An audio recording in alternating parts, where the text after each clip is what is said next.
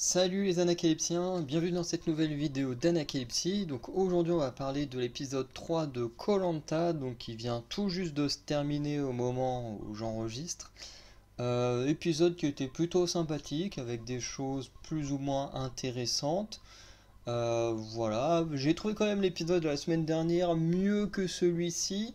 Bon après peut-être aussi parce que mon équipe préférée a pris cher cette semaine, mais... Euh, mais voilà, je trouvais qu'il y avait plus de stratégie, un peu plus de choses intéressantes dans l'épisode précédent.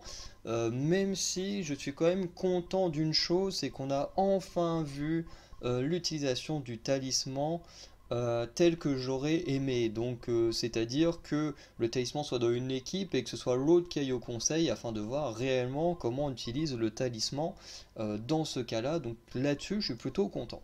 Bref, on va revenir euh, un peu euh, sur ce qui s'est passé euh, de manière chronologique comme d'habitude et comme dans la plupart de mes vidéos en général quand je reprends quelque chose de scénarisé. Enfin, pas que Colanta soit scénarisé, mais je veux dire le montage, enfin quoique le montage apporte quand même un certain scénario quoi. mais dans le sens où voilà, tant qu'il y a une histoire, bah, je vais dans, dans le courant de l'histoire. Bref. On commence avec euh, Elena euh, après le conseil qui prend conscience euh, du que les gens voilà ne l'aimaient pas trop par rapport à son comportement. voilà, donc elle dit qu'elle va tenter de l'améliorer, qu'il y a sûrement un quiproquo parce qu'elle ne s'imagine pas être comme ça, même si elle avoue qu'effectivement, après l'épreuve du parcours du combattant, elle a peut-être pu avoir des mots qui ont offensé certaines personnes, voilà, mais qu'elle pensait pas forcément à mal à ce moment-là. Euh, Alexandre, lui, va décider d'être honnête, euh, chose qu'il aurait peut-être pas dû quand on voit euh, la, fin de l'épisode, puisqu'il va lui-même avouer justement qu'il lui en voulait, qu'il avait mené une stratégie contre elle, parce que ben, il n'avait pas trop aimé son comportement au début de l'aventure. Et puis du coup, d'autres langues entre temps vont également se délier, notamment Elodie et certaines autres. Euh, voilà, et notamment ils se sentent un peu forcés quand même, hein, parce que faut pas oublier que là ils le disent, entre guillemets ils sont honnêtes, euh, parce que Amy a balancé la stratégie. Si Amy n'avait pas balancé la stratégie contre Elena, il y a d'énormes chances que Alexandre et les autres qui se sont dévoilés euh, n'auraient jamais avoué à, à Elena qu'ils ne la supportaient pas. Donc ils sont honnêtes, mais honnêtes à cause des circonstances et pas parce qu'ils veulent réellement être honnêtes. Voilà, faut pas oublier ce petit détail. Après, euh, en même temps, c'est l'aventure et Colanta est une aventure qui oblige les gens à être malhonnêtes, puisqu'il peut y avoir qu'un seul survivant, donc faut, jouer avec les autres pour survivre. Donc euh, c'est pas un reproche quand je dis euh, les choses comme ça. Mais euh, il y en a qui pourraient euh, sur les réseaux sociaux se dire Ah ouais, moi j'aime bien lui parce que voilà, à ce moment-là, il a avoué les choses et tout. Sauf que bah, ici, ils ont avoué les choses parce qu'ils ont été plus ou moins forcés de le faire et pas parce qu'ils avaient envie de le faire. Ce qui est du coup deux choses très différentes. Euh, du coup, les aventuriers vous reçoivent sur leur camp. Alors, j'ai appelé ça des échasses parce que je sais pas vraiment comment appeler ça, mais c'est un peu le principe des échasses. voilà, donc il y a des grands bâtons avec une mini plateforme et du coup, les aventuriers, alors c'est une, épreuve classique qui sera un peu revisitée, euh, mais en gros, ils doivent se déplacer dans l'eau avec ces sortes d'échasses. Euh, du coup, il y a un groupe qui tient une échasse, l'aventurier équilibriste monte dessus, et ensuite il doit passer sur la deuxième, et puis les, deux, ceux qui ont la première, ils passent devant, et ainsi de suite. Euh, jusqu'à une plateforme. Donc là, ils ont l'occasion de s'entraîner. Euh, d'un côté, chez les jaunes, euh, Grace a l'air d'être la plus apte à être l'équilibriste, tandis que chez les rouges, c'est plus Anne-Sophie qui est censée porter ce rôle-là. Voilà, même s'ils ont déjà l'idée d'avoir Martin en plan B, mais ils s'entraînent pas énormément avec Martin, parce qu'ils disent Anne-Sophie elle maîtrise très bien, donc voilà, on va y aller avec Anne-Sophie.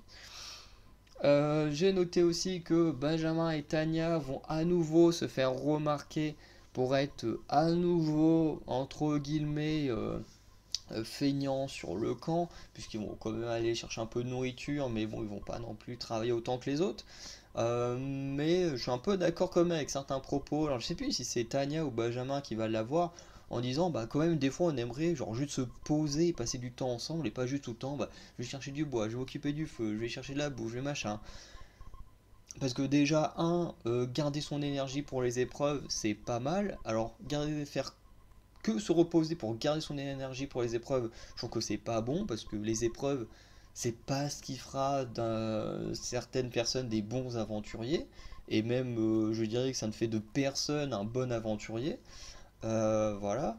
Parce que si on retient de ceux qui ont des records de, d'épreuves euh, avec Claude ou Théora, ben, ce qu'on retient d'eux, par exemple avec Claude, c'est qu'il n'était pas que excellent dans les épreuves, c'était aussi un excellent stratège.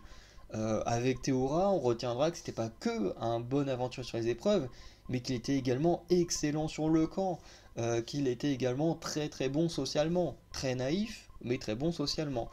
Donc euh, on ne retient pas que les épreuves avec cela. Certes, Denis adore mettre ça en avant, mais on n'oublie pas que d'un côté, Claude était également un excellent stratège qui l'a à chaque fois mené très loin dans les aventures, et Théora était également euh, très bon socialement et très bon sur le camp, notamment pour trouver de la nourriture, faire des cabanes, tout ça, donc ce qui euh, le faisait aller assez loin en général.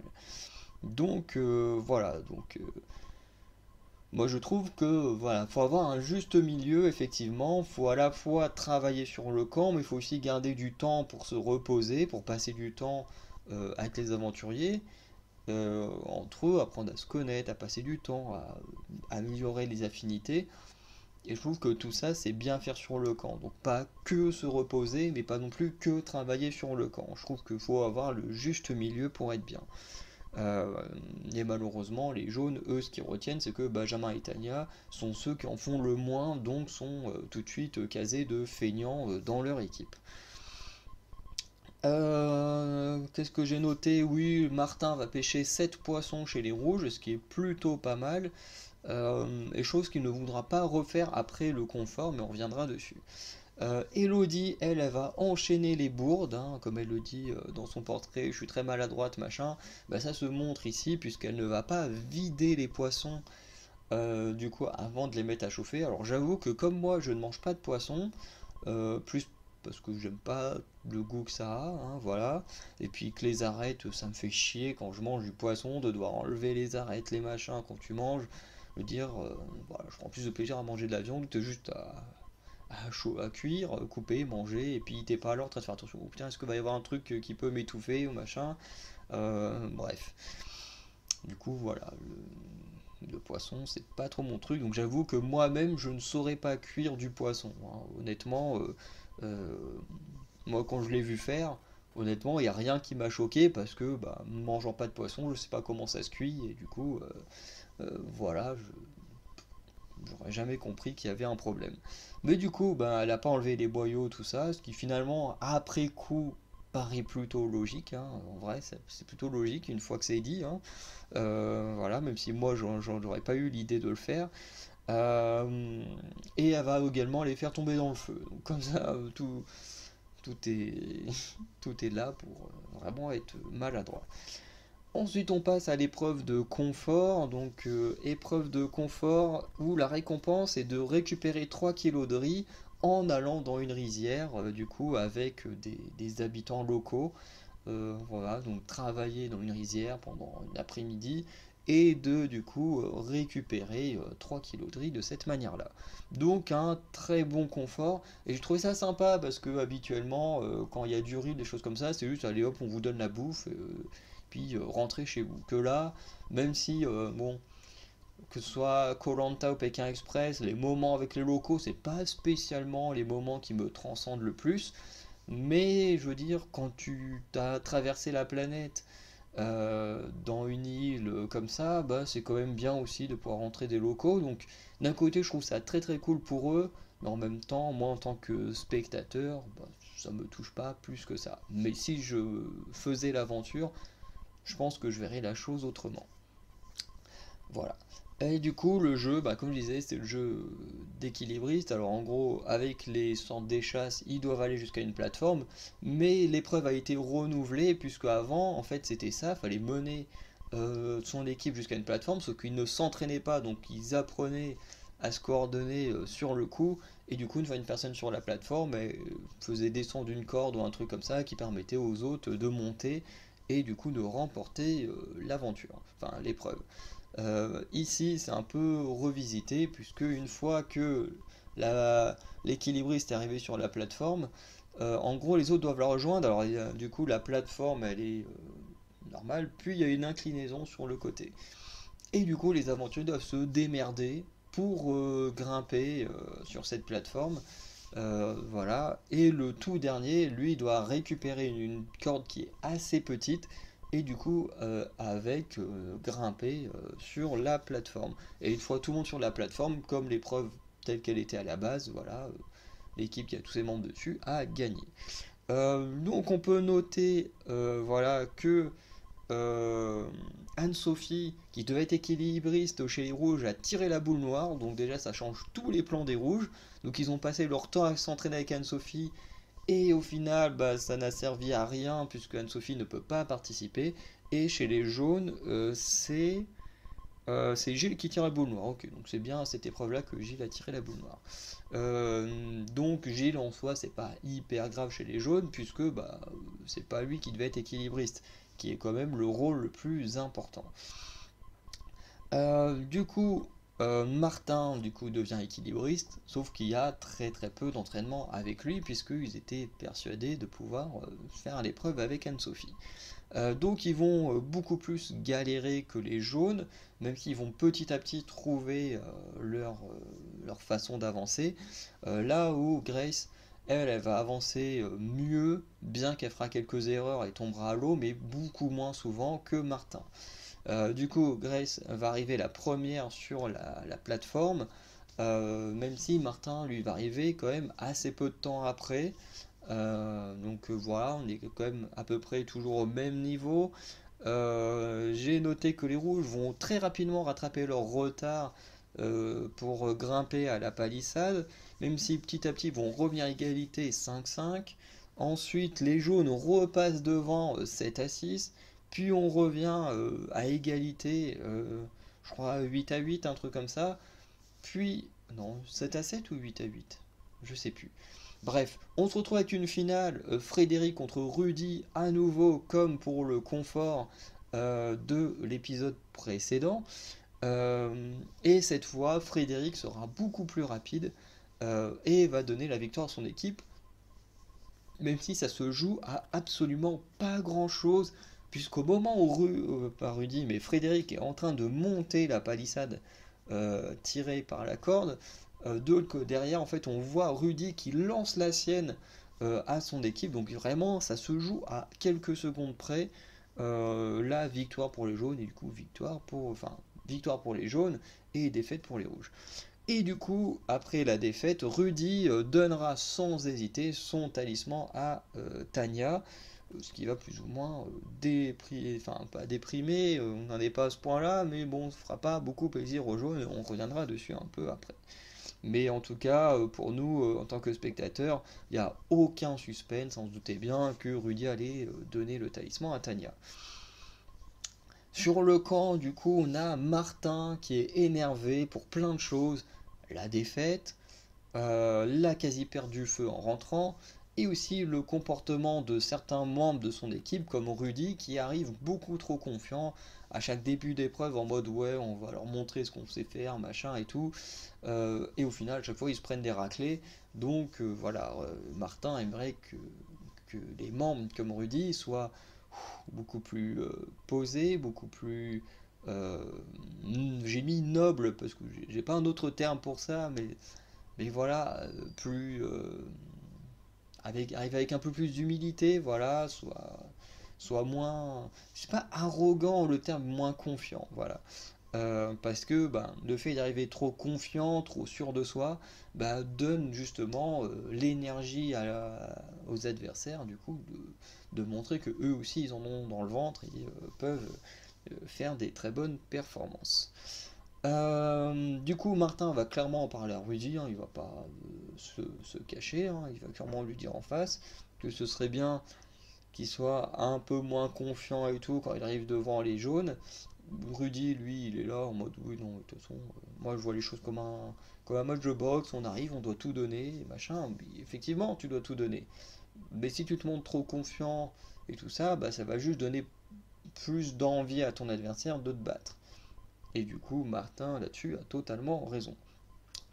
Du coup, on a Elodie et Alexandre qui eux vont déjà commencer à chercher un collier ou une arme secrète euh, alors que l'épreuve n'est pas encore passée. J'ai trouvé ça très dommage qu'ils ne cherchent pas à plus s'intégrer, à plus tenter du social ou de la stratégie euh, verbale. Ils vont plutôt essayer de chercher des, objets. Euh, Alexandre va avoir la chance de trouver, je crois, une canne à sucre ou du manioc, un truc comme ça, euh, ce qui va lui permettre de plus ou moins faire genre, euh, bah non, je cherchais de la bouffe, voilà, parce qu'il en a trouvé. Bref, voilà. et le but d'Alexandre, c'est de se débarrasser de son rival, du coup, qui est Rudy, puisque les deux étant les gros stratèges de l'équipe. les jaunes, eux, vont aller dans la rizière, ils vont apprendre à cultiver le riz, voilà, ils vont cultiver eux-mêmes leurs 3 kilos de riz, Bref, hein, les cultiver, les récolter plutôt. Voilà, parce que sinon il resterait un petit bout de temps euh, dans la rizière.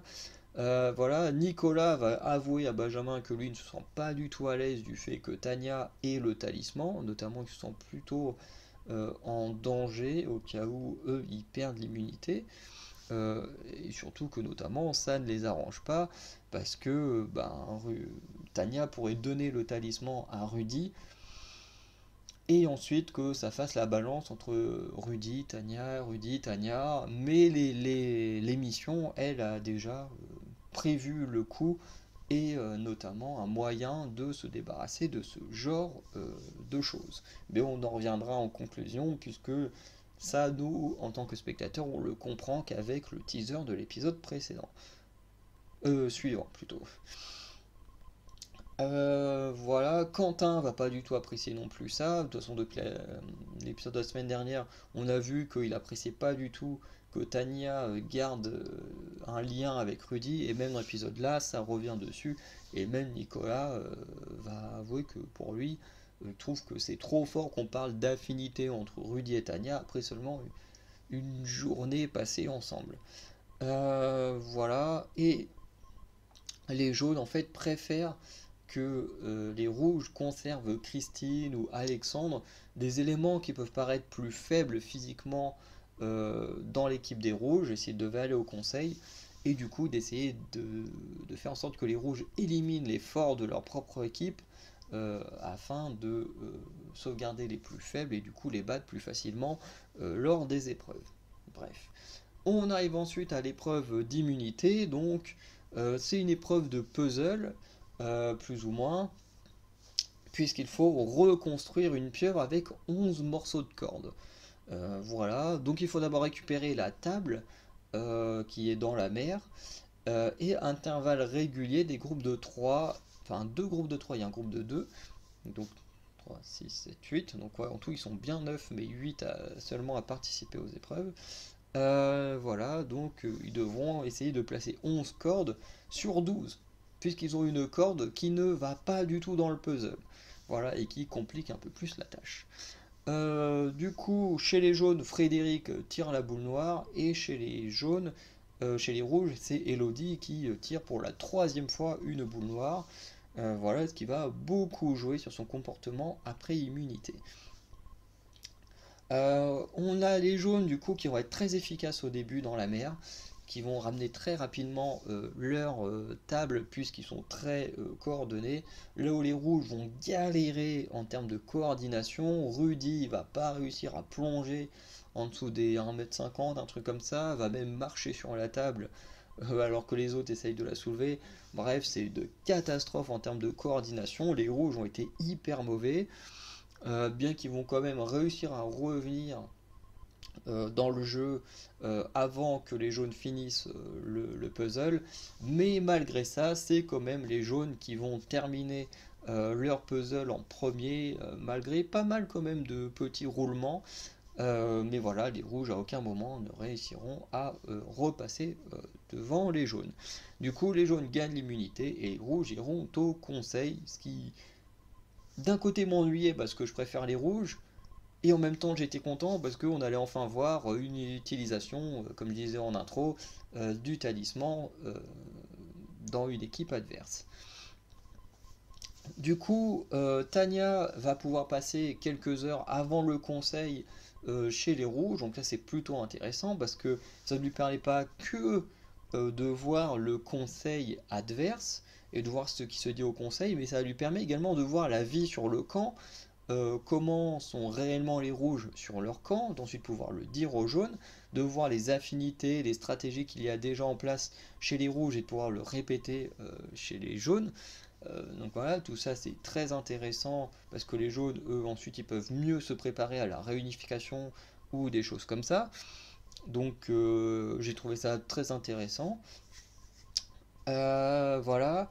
Euh, Grace va clairement prévenir euh, Tania qu'elle a intérêt à suivre la stratégie jaune, donc soit de protéger Christine, soit de protéger Alexandre, parce que sinon, si elle ne suit pas les jaunes, bah, elle sera clairement l'une des premières à dégager lors de la réunification, puisque bah, les jaunes ne la soutiendront plus si elle ne suit pas les stratégies des jaunes, et que bah, les rouges, certes, Rudy euh, et en affinité avec elle, mais rien ne veut dire que le reste des rouges va protéger euh, Tania. Donc euh, globalement, elle fait clairement comprendre que voilà, Tania, si elle ne suit pas les jaunes, elle est clairement en danger à la réunification.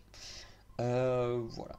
Et même peut-être avant. Mais comme les jaunes se disent que le talisman risque de pas mal voyager entre Tania et Rudy, bah, clairement il faut comprendre euh, que si à la euh, réunification il n'y a plus de talisman, bah elle est euh, clairement foutue. Bref. Chez les rouges, comme je disais, on a Elodie qui va péter un câble puisqu'elle est totalement parano, elle a totalement peur de ce qui peut se passer, puisqu'elle n'a pas prouvé ce qu'elle valait dans son équipe. puisqu'elle a tiré trois fois la boule noire sur six épreuves, je crois. Euh, quoique la première épreuve, enfin non, quoique, non, sur quatre épreuves, parce que les deux premiers, enfin le premier épisode, euh, comme il n'y avait pas d'éliminer, forcément tout le monde était présent. Et ensuite, euh, sur les l'épisode 2 et 3, là elle a tiré trois fois la boule sur quatre épreuves, donc voilà, elle a assez peu eu l'occasion de montrer ce qu'elle valait. Euh, donc en tant qu'équipe rouge, elle a participé que deux fois sur cinq, donc effectivement ça fait très peu de participation. Euh, donc voilà, elle pète un cap pour ça, elle est parano parce que ben, euh, elle s'imagine que tout le monde parle d'elle dès qu'elle n'est pas là, elle s'imagine que tout le monde veut l'éliminer parce que ben, voilà, elle n'a pas fait ses preuves, machin, enfin bref, elle est totalement dans un délire très particulier et qui en plus n'a même pas lieu d'exister parce que bah, en fait euh, tout ce qu'elle s'imagine euh, est plus ou moins faux. Euh, voilà. Et ça va en plus se, vérifier au conseil. Qu'est-ce qu'on a d'autre d'intéressant? Alexandre veut éliminer Rudy, notamment en menant une stratégie euh, voilà, aux côtés de, des filles en général, donc avec euh, Christine, avec Julie, avec Elodie, avec Anne-Sophie, enfin bref, avec plusieurs filles, il a l'air de vouloir mener une stratégie contre Rudy afin de se débarrasser de son rival stratège, ce qui est plutôt intéressant. Euh, Elodie va tenter de faire croire qu'elle a un faux collier d'immunité en mettant des branches au niveau de son soutif et du coup en laissant apparaître une forme particulière au niveau de sa poitrine. Euh, du coup, elle va un moment se montrer comme ça devant Rudy, Elena et euh, Esteban, qui forcément vont bien le remarquer, euh, voilà, qu'il y a un truc qui va pas au niveau de son soutif. Hein.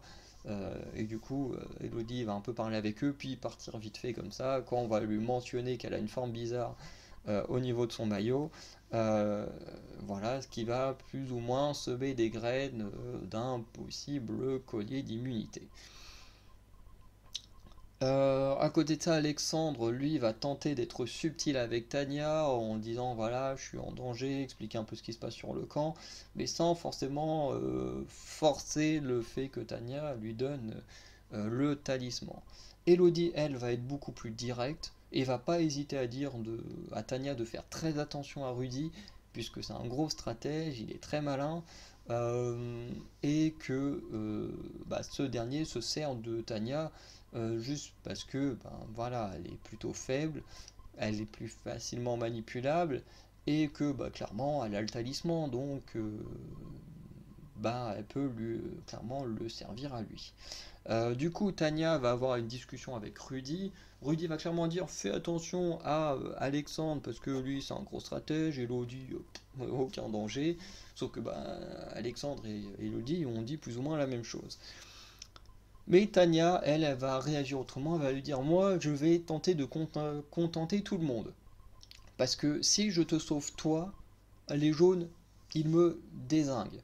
Donc je suis dans la merde. Et comme tu n'as pas l'air d'être en danger, eh ben, je vais donner mon talisman à Christine, ce qui vous permet euh, d'éliminer Alexandre comme vous voulez l'éliminer. Euh, voilà, c'est plus ou moins l'idée.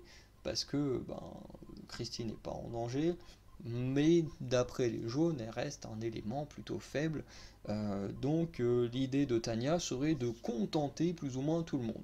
Voilà, Perbetto rouge de s'en prendre à Alexandre, et en même temps bah, euh, de sauvegarder quelqu'un euh, que lui avaient ordonné les jaunes. Donc euh, voilà. Donc quand on arrive au conseil, eh ben, c'est ce qui se passe.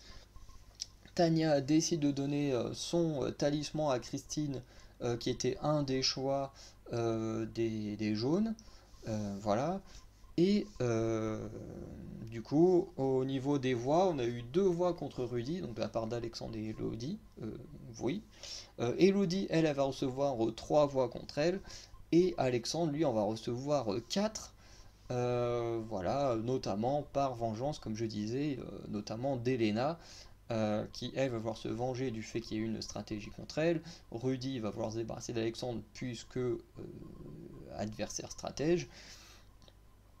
Et voilà, tout ça était plutôt intéressant. Et effectivement, comme je disais, si au début de l'épisode, euh, Alexandre ne s'était pas euh, dévoilé comme euh, instigateur de la stratégie contre Elena, peut-être que Elena n'aurait pas voté contre lui, et ça aurait peut-être changé des choses. Mais en tout cas, voilà, Alexandre a fait cette erreur, Elena a voulu se venger, et du coup a permis d'éliminer celui qui voulait l'éliminer à la base. Donc voilà un petit peu l'épisode. Hein, bon, moi Alexandre, c'était pas forcément un aventurier que j'aimais énormément. Je suis un peu dépité parce que c'est un gars de ma région. J'aurais quand même préféré le voir un peu plus loin, mais bon, c'est comme ça. Euh, en termes de stratégie, j'ai trouvé qu'il n'avait pas été hyper bon. Euh, il était parti un peu sur le mauvais pied. Je comprends ce qu'il voulait faire, euh, un peu ce que Ahmad avait fait sur l'île des héros, mais je trouve que c'est pas la meilleure des stratégies. voilà, c'est vrai que suivre les stratégies classiques, voilà, éliminer les plus faibles d'abord, les plus forts après, ça peut être un peu chiant quand tu es stratège, mais en même temps, ben, c'est de la pure logique. Quand tu es en équipe, bah, tu essayes de mener la meilleure équipe possible pour gagner des épreuves. Une fois que tu es en solo, bah, tu t'en fiches, tu peux essayer d'éliminer euh, n'importe qui, et notamment ceux qui te dérangent le plus, donc en général les plus forts sportivement. Donc euh, voilà, je peux comprendre qu'un temps de stratège c'est chiant de suivre cette stratégie-là, mais en même temps, bah, ce sont les plus efficaces pour aller le plus loin. Bref. En tout cas, le talisman ne pourra pas voyager euh, comme une balle de tennis entre euh, Tania et Rudy, puisque notamment ils vont beaucoup en parler en disant ouais de toute façon on peut se protéger tous les deux en se refilant le, talisman euh, et tout ça, euh, ce que Nicolas a peur également, euh, mais n'arrivera pas, notamment puisque la production a déjà pensé à cette chose-là, notamment en créant une épreuve éliminatoire la semaine prochaine. Donc une personne sera automatiquement éliminée. on ne sait pas trop ce que sera l'épreuve, mais ça peut être absolument n'importe qui, notamment Rudy ou euh, Tania peut se faire éliminer. Donc euh, si un des deux se fait éliminer, bah déjà il n'y a plus ce côté, bah voilà, le talisman va voyager entre deux. Bon, il pourrait voyager entre Tania Benjamin ou Rudy euh, Benjamin au final. Mm, voilà. Mais il y a également une autre chose qui fait que ça ne marchera pas comme ça, c'est que les équipes vont être redistribuées, vont être totalement refaites. et du coup, si Rudy et Tania se retrouvent dans la même équipe, eh ben ça change absolument tout parce qu'ils peuvent plus se partager euh, comme ça euh, le talisman uniquement entre deux si euh, bah, ils sont dans la même équipe. Certes, ils pourraient se protéger l'un l'autre enfin tenter de se protéger l'un l'autre, parce que s'ils ont le talisman dans leur équipe, bah imaginons que les deux finissent tous les deux chez les rouges ou chez les jaunes, voilà, qu'ils ont le talisman, imaginons Rudy a le talisman, bah il devra faire le choix entre soit se protéger lui, soit protéger Tania. Et du coup, s'il veut protéger Tania, il se met lui-même en danger. Donc ça va compliquer beaucoup plus les choses que là où quand ils sont dans des équipes adverses, c'est plus facile de protéger l'autre. Et euh, du coup, voilà, c'est plutôt intéressant de redistribuer les cartes, redistribuer les équipes, euh, voilà, en espérant entre guillemets que euh, Tania et Rudy se retrouveront dans la même équipe, parce que ça évitera que le talisman voyage que entre deux, et ça permettra, voilà, de le faire déplacer entre différents aventuriers. Bref, j'ai pas plus de choses à dire sur cet épisode, hein. c'était un très bon épisode, même si en termes de stratégie j'ai plus ou moins préféré euh, celui de, la semaine dernière, mais j'ai quand même pas mal aimé l'épisode d'aujourd'hui. Euh, n'hésitez pas à me dire en commentaire ce que vous, avez pensé de cet épisode, si vous l'avez aimé ou moins aimé. Pardon. Sinon, euh, bah voilà, on se dit à très bientôt pour de nouvelles vidéos, notamment en fin de semaine, un épisode sur l'épisode 4 de Pékin Express, si j'ai pas de bêtises. Euh, voilà, et on se retrouve euh, la semaine prochaine avec l'épisode 4 de Colanta. Euh, donc, voilà, passez une bonne journée, une bonne soirée. Me dites-moi ce que vous avez pensé de cet épisode dans les commentaires. Et on se dit à très bientôt pour de nouvelles vidéos. Ciao